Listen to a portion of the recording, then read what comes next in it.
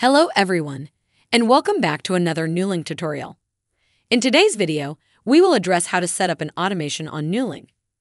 If you have seen our other automation tutorials, you will notice that it is a similar easy process for all of our automations.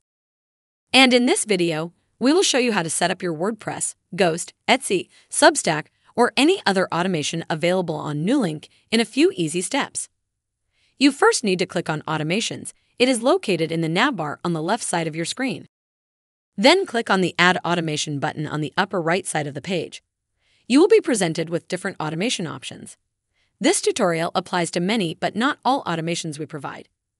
Anchor, WooCommerce, Ghost, Etsy, Substack, WordPress, Shopify, YouTube, RSS feed, and Medium all follow similar setup process, which we will cover in this video. Our other automations that don't follow these steps or have different features have dedicated videos that guide you through the process of setting up the automation. Now, you will need to look and scroll down until you found the automation you were looking for. After locating the service you want to automate, click on Add Automation to start the automation process.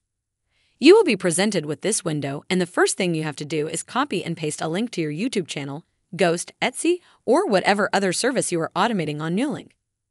This will allow us to view your content on that platform. We don't have the authority to view personal or financial information or even post on these platforms on your behalf. We provide you with a post description ready to go that you can customize with different variables. You can add titles, links to the products, blog posts, or podcasts, a link to your website, and the author's name. If you want to go a step further, you can completely write your post description from scratch to reflect your brand's identity. Just remember to add emojis and hashtags because they do make a difference with the algorithm gods. When you opt to add a new automation, Nuelink automatically creates a new collection to host posts from this specific automation. You can opt out of this option by unchecking this.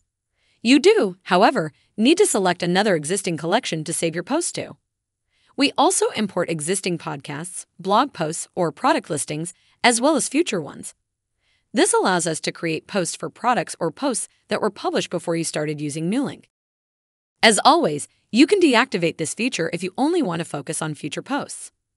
You have the option to also set posts as drafts to review before sharing them with the audience and importing said posts as images. It is all up to you. The last thing you'll have to do is click on Add X, Y, or Z automation to make this official. Your posts will automatically be saved to the collection you selected or that we created for this specific automation. If you have a problem automating a service, you can always let us know in the comments and we will create a video just for you. But with this, we will end today's video. Until next time, but remember, create once, post forever.